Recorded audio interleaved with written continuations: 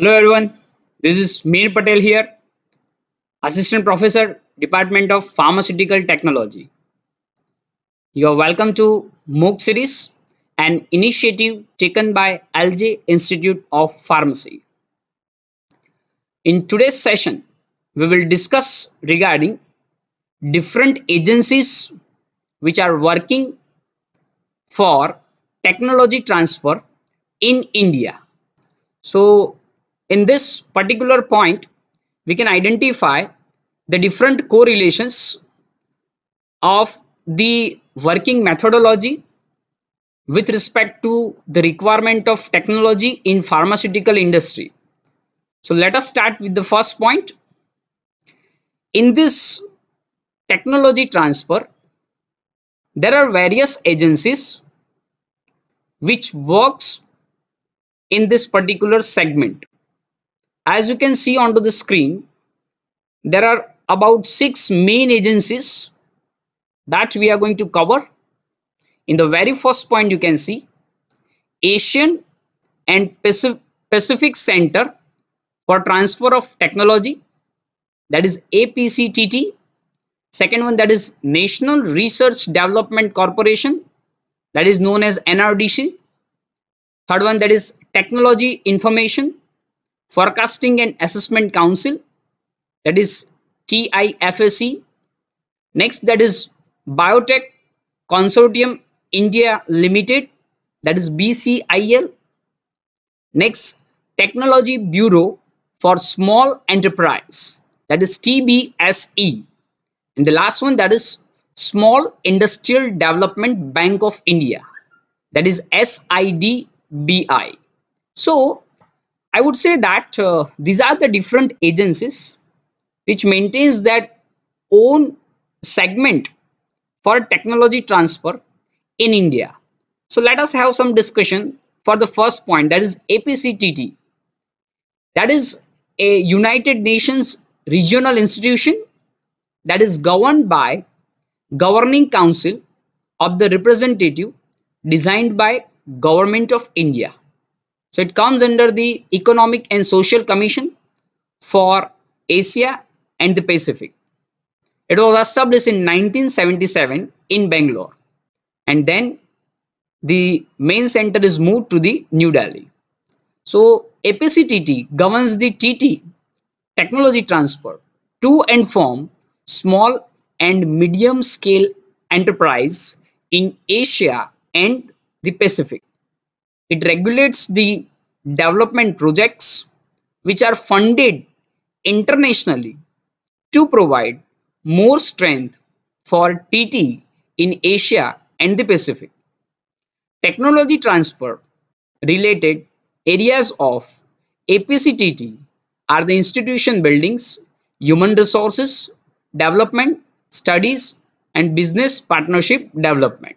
So these are the main focusing points with respect to APC TT. The next one that is NRDC that is National Research Development Corporation. It was established in 1953 by Government of India with the aim of promotion, development and commercialization of technology transfer from public sector. So it involves the transfer of technologies, inventions, patents and processes from the national research and development institutions and university that are under the administrative control of the Department of Scientific and Industrial Research and the Ministry of Science and Technology.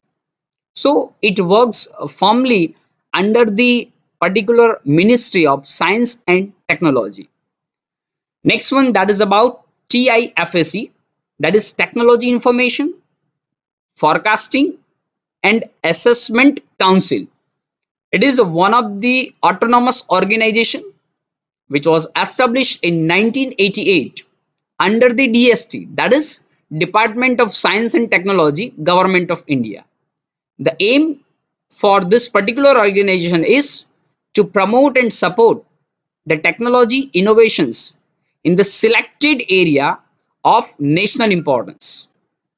So this concentrates technology, innovations, and development throughout the various sustained programs between the industry and academia.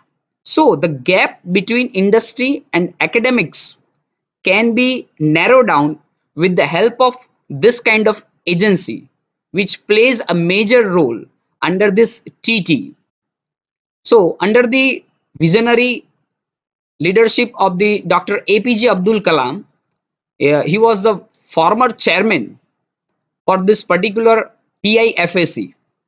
So that was the basic concern with respect to different theme it is included and the major area under the theme focus that is education, medical science and healthcare, food and agriculture, water, energy, environment, information and communication technology, habitat, transportation, manufacturing, material and infrastructure. These are the specific segment on which this particular council works and develops the different kind of evaluated identifications. Next one that is BCIL, Biotech Consortium India Limited. It is a public limited company that was inaugurated in 1990 under the Indian Companies Act 1956. It was promoted by Department of Biotechnology, which one is under the Ministry of Science and Technology, Government of India, and All India Financial Institution. The basic motive for the establishment of this agency is to create the linkage among the stakeholders and the business support to facilitate the acceleration of commercialization of biotechnology. So that is the basic motive to give the accelerated condition for commercialization of biotechnological product. So different kind of aspects are included under this BCIL that is technology transfer, project consultancy, fund, information and manpower management. With respect to the training and placement which are actually related to biotechnological industry. So that one is a more important work segment for this BCIL Next one that is Technology Bureau for Small Enterprise, which provides opportunity to small enterprise at the global level for acquisition of technology or establish the business collaboration. So it works under the Development Commissioner, Ministry of Micro, Small and Medium Enterprise that is known as MSME and it is partially funded by the Office of Development Commissioner, Small Scale Industries and the Government of India. So there are different important features with respect to this TBSE which you can identify. So in that case, it build, build ups the confidence between the partners. It manages the system well with the technical concern the mechanism for arranging the technology and finance that also provides a gateway to the global technology market through the networking. So it helps with the relation for maintaining and developing the networking. TBSE take up a project appraisal and the preparation to the business plan. So it works nicely for new project execution. The next one you can see that is Small Industrial Development Bank of India, which was established on April 2nd, that is 1990, through an act of parliament under the Department of Financial Services, Government of India. It is a development financial institution in India. The headquarters is situated at Lucknow, Uttar Pradesh. The purpose of this uh, SIDBI is to provide refinance facilities and short-term lending to industries and serves as the principal financial institution in the micro, small and medium enterprise sector that is known as MSME sector which works in a well identified manner. Now in the next point we can say technology transfer related documents. The very first one which is confidentiality agreement. Second one that is licensing procedure. And third one that is MOUs, Memorandum of Understanding. So the very first point with respect to this confidentiality agreement, it is also known as NDA, that is non-disclosure agreement. It is used to protect the priority nature of the technology and retain its confidentiality of technology or invention. The drafting of appropriate causes can be essential for the maintenance of the value of technology. So the need of agreement is to due to increase the competition and new technologies can be exploited.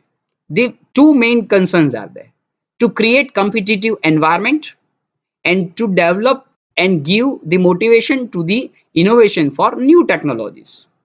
So it is necessary to obtain protection to the continuous innovation process through confidentiality agreements. Next one is about the licensing segment. So the license agreement is generally referred to the licensing of intellectual property rights such as patents, trademarks and copyrights. So once again, to make sure regarding the privacy of your product and the creation of competitive environment with the regulation in pharmaceutical industry this licensing procedure is required. This agreement has a role on maintaining the confidentiality and secrecy aspects of the contract. Next one that is the last point that is memorandum of understanding. So it is a negotiated agreement and the contract between the government and the management of the central public sector enterprise which is known as CPSE Central Public Sector Enterprise.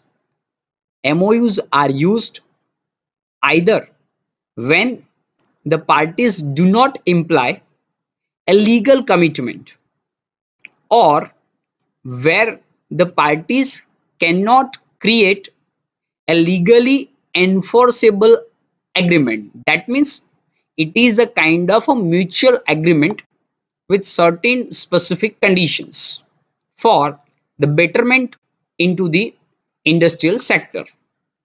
So this was regarding the MOU considerations. I hope that this all points are clear with you. Thanks for watching this video. I hope that this session is clear. Please do like, share and subscribe our YouTube channel that is Pharma Ignite. And don't forget to press the bell icon for notification. Thank you. Thank you very much.